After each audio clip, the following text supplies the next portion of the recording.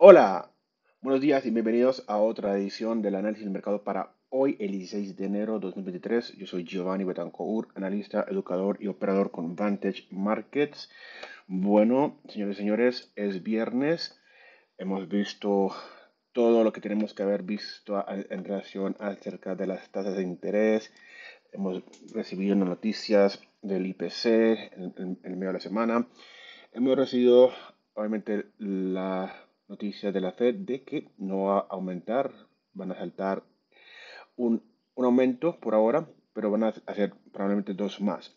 De todas maneras, todo esto no ha detenido el aumento, el movimiento alcista que hemos experimentado eh, en, la, en el Nasdaq, el índice de tecnología. Vemos cómo hemos alcanzado nuestro valor de resistencia que pusimos ayer. Vamos a, recoger el gráfico para darnos cuenta entonces qué pudiésemos esperar eh, para la próxima semana. El lunes no hay mercado, es un día festivo y va a estar el mercado cerrado. Por lo menos, por ahora, podemos venir a especular de que una vez alcanzando los 15.500 puntos, el Nasdaq pudiese tener algún tipo de retracción, ya que lo encontramos completamente en un mercado sobrecomprado. Esta valorización pues es, sobre todo por el, el auge de IA y todo lo que conlleva en ello.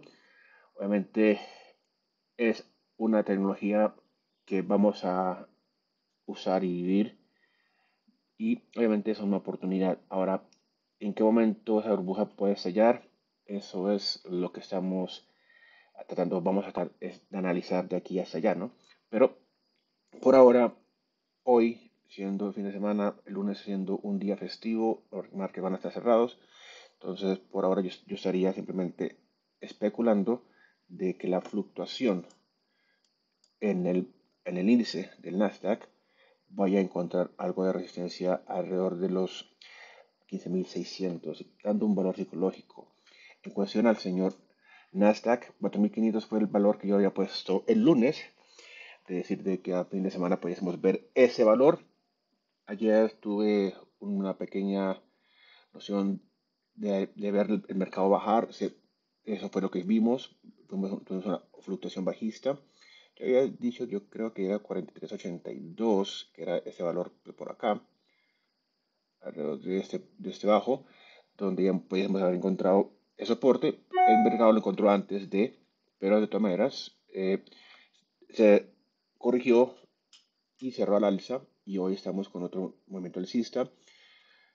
Como estamos sobrecomprados y sobre el valor de 75 dentro del, del RSI, es inminente que haga un tipo de corrección.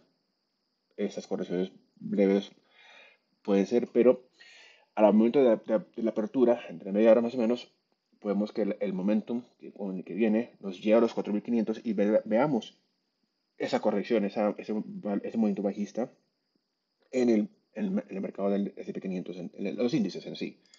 ¿Okay? Entonces ahora vemos acá lo que es el señor Dow. El señor Dow igualmente con fluctuaciones alcistas. Entonces vamos a poner 35.000 como nuestro nivel de resistencia. Un valor redondo. 35.000. Ahí está. 35.000, un valor redondo. Y bueno, aquí vemos la probabilidad de que lo alcancemos el día de hoy. Eh, pueda que no lleguemos hasta 35.000 el día de hoy. Pueda que lleguemos alrededor de los 34.900 inicialmente. Pero el RSI eh, no está todavía dentro de la zona de ser comprado, pero sí estará pronto. Eh, vamos a poder apreciar un movimiento alcista a la apertura. En cuestión al petróleo, el petróleo ah, está rondando a resistencia de 70 dólares que pusimos ayer. Vamos a simplemente a darle otros 2 dólares de, de campo para esa fluctuación. Subamos nuestro soporte a 69. Okay. El RSI se encuentra cercano a entrar sobre 50, que es una indicación de un un, aumento, una acumulación de impulso alcista cuando, cuando cruza el, valor 50. Entonces podemos ir buscando confirmaciones de una entrada alcista, pero tal vez igualmente siendo viernes festivo el lunes podamos ver simplemente una consolidación del mercado y, y se queda aquí en su punto de pivot alrededor de los 70,50. En cuestión al señor gas natural, hemos sobrepasado nuestro nivel de resistencia que pusimos ayer. Ahora vamos a usar este alto que se hizo el 29 de mayo como resistencia. Inicialmente vamos a subir nuestro nivel de soporte y vamos a usar esta zona de aquí como nuestro nivel de soporte. Al alza con gas natural. Igualmente con el señor oro se ha recuperado 1980 va a ser el target para oro. Vamos a subir nuestro nivel de, de lo que es soporte en 1940, 40 dólares de, canal acá. Muy probablemente eh, busquemos sobrepasar esos niveles de 1972 inicialmente. Al alza con el oro.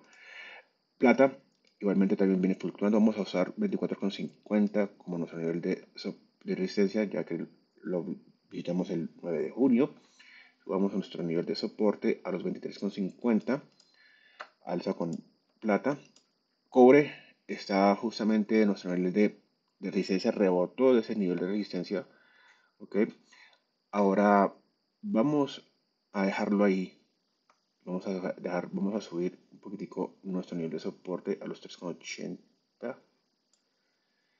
al alza con cobre, Bitcoin Después de una fluctuación bajista, se ha tratado buscando recuperarse, mantenerse por el norte de los 25.000.